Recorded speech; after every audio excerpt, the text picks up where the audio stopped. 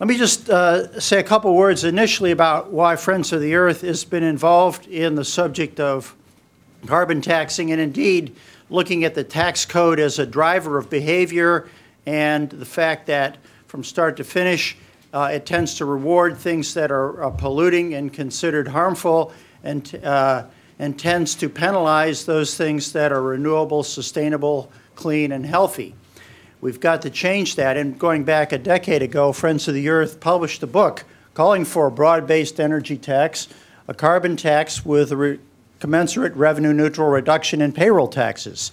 And we noted that actually in our survey of the nation, people like the idea of, of that because they review, uh, they, they thought that carbon taxes was in the version of a sin tax or a harm charge, just the way we uh, penalize alcohol and tobacco. What has become clear, in, in really in just the last few years, is that we're a lot closer uh, to major problems than we thought, even just a few years ago.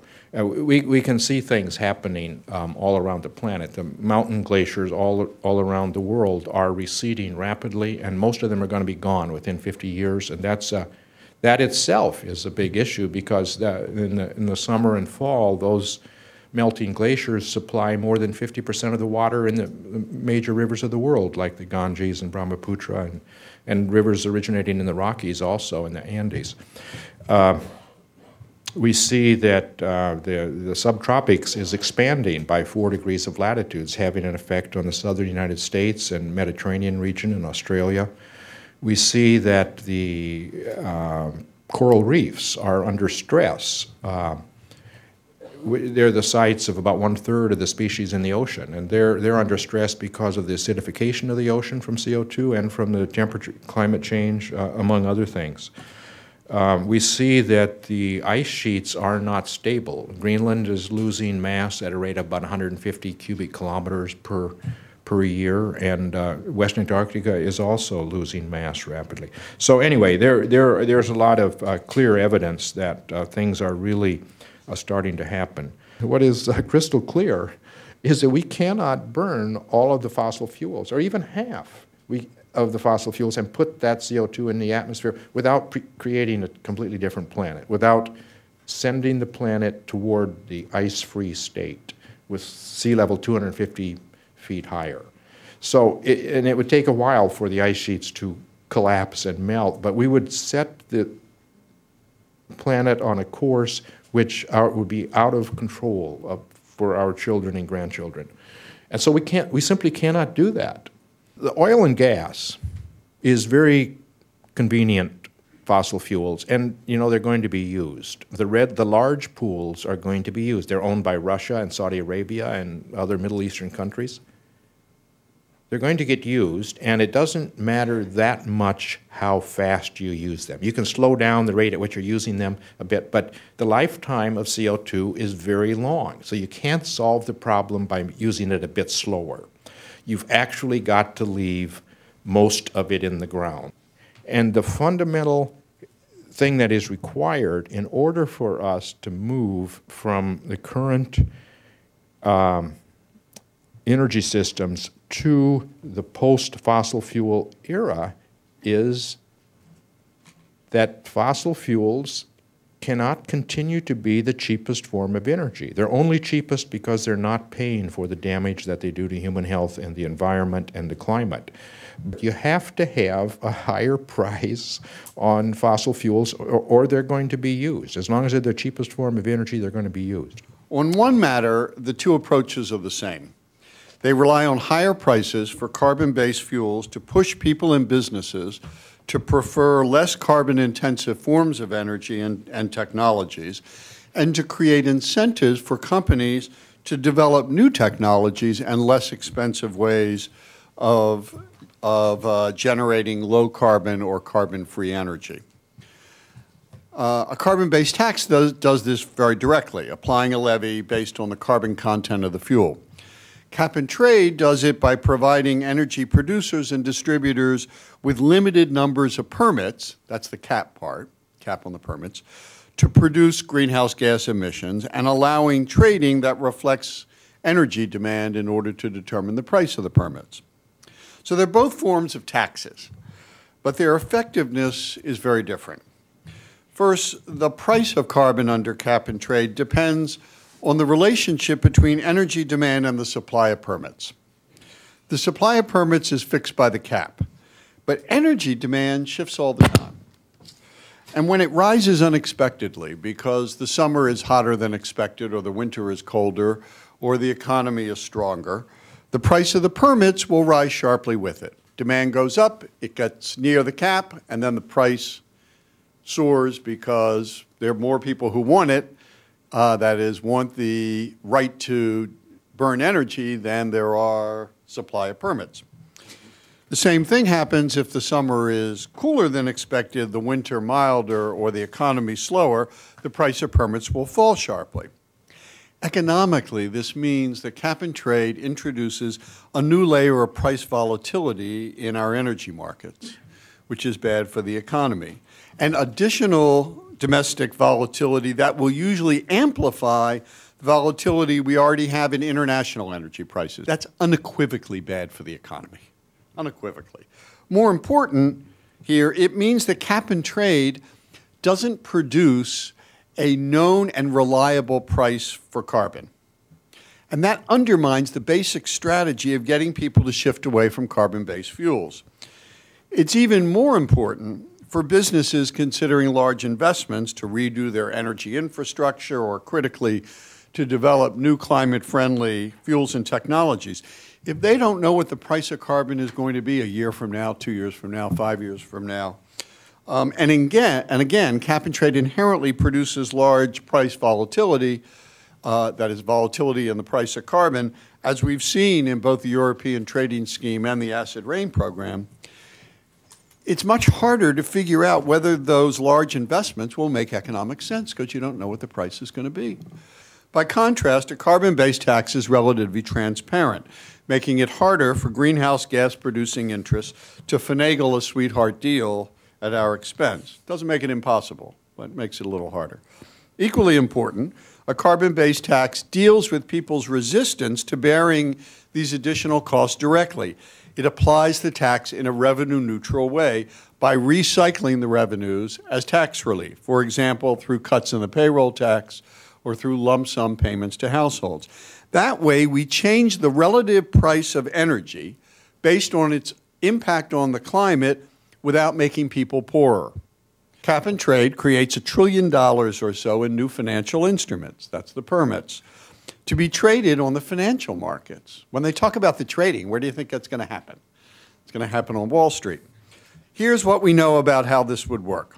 First, they would, they would be the focus of large-scale speculation because speculators make their money off of price changes, off of volatile prices, and cap and trade inherently, unavoidably, and inevitably produces high price volatility. Is there any sense at all in creating a trillion dollars in new financial instruments, which would, would immediately produce derivatives and derivatives of those derivatives, when we know the economic risks for the rest of us that such markets involve when the underlying asset is basic to the economy, like mortgages and energy, and subject to bubbles and large price swings. These are exactly the ingredients that produce the financial meltdown. In late May of 2008, the government of British Columbia enacted a carbon tax on fossil emissions from fossil fuels. It was part of its the government's uh, plan to reduce greenhouse gas emissions by 33 percent by 2020, an aggressive target. It's a broad enough tax base to cover in British Columbia 77% of their greenhouse gas emissions, according to recent figures from the Ministry of Finance. So this creates a comprehensive tax base, and very importantly, the tax has only very limited and policy-based exemptions from the general rule that all fossil fuels will be taxed. It has, for example, an exemption for exports because those fuels will be burned outside of British Columbia, an exemption for interjurisdictional travel by air, um, over which the government probably does not have legal authority, and an exemption for feedstocks, which won't be burned. But very importantly, um, it does not have any special exemptions for specific fuels or specific users. Um, it's not riddled with special interest exceptions. It's retained its breadth and its comprehensive character. The tax went into effect July 1 of last year, 2008, at the rate of $10 per ton of carbon dioxide. And that tax rate will go up by $5 each year until it reaches $30 per ton in 2012. So, since we're just past the first anniversary of the tax, um, the tax is now playing out at $15 per ton of carbon dioxide. Again, no special tax rates for particular fuels, just one flat rate that applies across the board. What does this rate translate into? For gasoline, the first year of the tax, it was 9 cents a gallon. When it's fully phased in at $30 a ton, that will go up to about 27 cents per gallon of gas, on top of the other provincial gas taxes. The British Columbia proposal is a revenue neutral carbon tax. That means that all of the revenue that the tax generates is given back to the taxpayers, primarily in the form of a variety of different kinds of income tax relief. There's a refundable tax credit for low income taxpayers, and it's paid out quarterly so that taxpayers don't have to wait till they file their annual return to get the benefit. There are lower individual income tax rates and lower business tax rates. And there's also an interesting twist to the requirement of revenue neutrality. The law says that the finance minister is, is charged with ensuring that each year all of the revenues are returned to taxpayers so the government doesn't end up accumulating a surplus for other purposes. And if the Minister of Finance does not produce a plan and introduce legislation to make sure that happens, the minister has to refund 50% of salary for that fiscal year. Um, another market based approach we could consider. Um, it's simple, it's comprehensive, it's straightforward, and it's quick.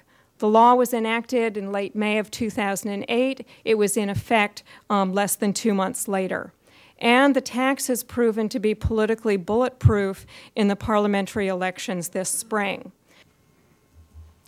In terms of uh, other ill effects of the cap and trade system that we are against, uh, profiting from the permit price is a significant problem. These are ways in which corporations can actually continue to benefit at the expense of communities. Emission permits are priced to create a market signal that facilities must pay uh, the public for the CO2 pollution. And when the government gives polluters uh, these permits for free, corporations avoid paying for their actions. And that is exactly what is happening under the bills that are going forth, the cap and trade bills that are going forth right now. I think when you look at this overall and you realize that uh, vulnerable communities, those that are on the front line of climate change, are looking at a bill that does not reduce CO2 fast enough at the right targets, does not provide protection for them from vulnerable uh, shocks in the electric market and the energy market, does not control for pollution hotspots, does not provide other types of consumer protection, barely provides any money for training uh, to the green economy, ultimately, we're looking at a bill that not only is not good economically, it is not good environmentally. And for those of us in vulnerable communities, it certainly means that it is not good for us at all. In addition to that, our carbon charge proposal puts forth options for recycling the revenue that's raised through the carbon charge into the economy in multiple ways through training, through offsets that we consider important for allowing for education, allowing for green job and research and, and uh, green job research and development uh, monies to go into green jobs and green jobs technology, and a variety of other things that also deal with public health.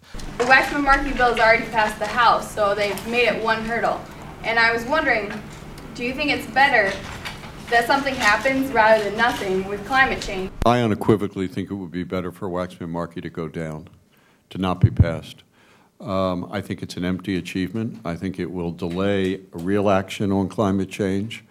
Um, I think it will also, as its adverse effects become clear because the public is not prepared for it, I think it'll cause, could cause a backlash against climate change efforts. This is checking a political box without the substance? I think there's some fundamental key differences between the acid rain program and what's uh, up on the table at this particular point. One is that the acid rain program really had a fairly direct and clear path to what needed to be fixed. So there was a way forward. You had to put scrubbers on, and you you know sal- the low sulfur coal, uh, convert to that, and then get yourself in that program. Um, in terms of the cap in the acid rain program, it was uh, an allocation for a cap was based upon a, a, standard established in the Clean Air Act, which, from my standpoint, is one of the strongest environmental laws that we have because it actually does tie into public health. Um, there were no offsets in the acid rain program, and uh, I think that's really critical for those couple of things that I just cited there. It's critical for people to understand. Um, the last thing I'll say about the acid rain program is that the scope of that program was significantly smaller than what we're talking about right now. So that enforceability, which is a key concern for the environmental justice community, uh, is something that we could literally wrap our arms around. I mean, we could get you know, to the to the source of the problem. What we're talking about here, when we talk about a cap and trade program, it's it's much broader. It's much you know, it's an economy-wide system, and it it is something that I think uh, should not be compared so easily. Um, a lot of the folks uh, on the cap and trade side like to banty about, oh well, the acid rain program worked. Well, it worked for very specific reasons, and stop pulling the wool over the public's eyes.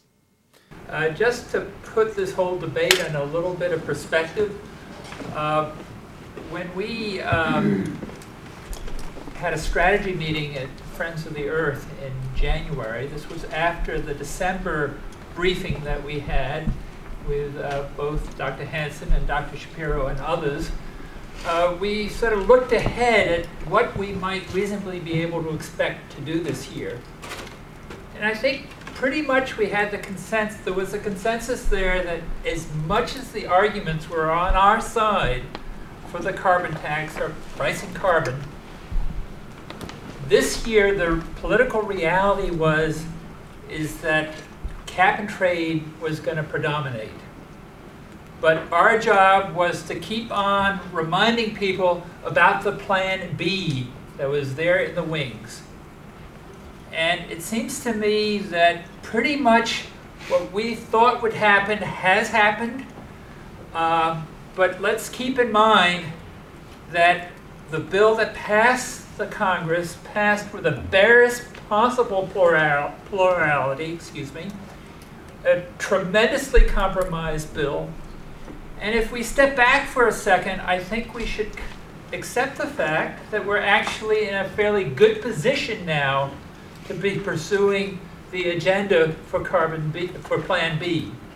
And that we really, it's incumbent upon us to work as best as we can with the Senate, with the conference, and also the fact that, let's accept it, we may not have a climate bill, regardless of Copenhagen this year, and we should be back next year really presenting ourselves with a much stronger plan. So I, I think that uh, this is not a time, you know, certainly it's discouraging to see such a weak bill put forward there. So many people saying, oh, this is a step forward, when many of us think it's a step backwards. But if we look at from a broad perspective, um, it's really more time than, uh, timely than ever to be pushing for what is really a viable, equitable alternative. And I think uh, the people here today have spoken very well to that fact.